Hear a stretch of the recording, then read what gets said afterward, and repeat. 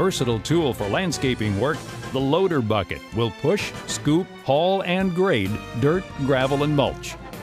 It lifts approximately 180 pounds and two and a quarter cubic feet of material with 14 inch ground clearance for transport. The bucket has a high strength steel cutting edge and the tilting action uses a 500 pound electric ram.